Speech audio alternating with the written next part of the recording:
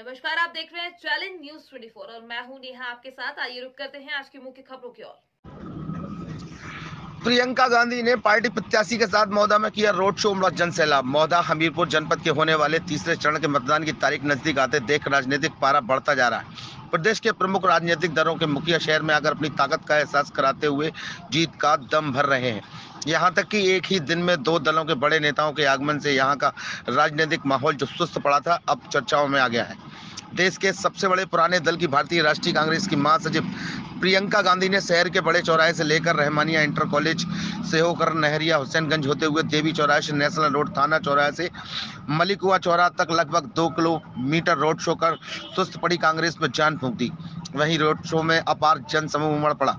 उनके साथ पार्टी प्रत्याशी राजकुमारी सिंह, पत्नी अशोक चंदेल व साथ चल रहे पुत्र अभय सिंह चंदेल जनता से आशीर्वाद की फरियाद की। हमीरपुर से संवाददाता शिवालक अनुरागी के साथ कैमरामैन संतोष रावत की रिपोर्ट।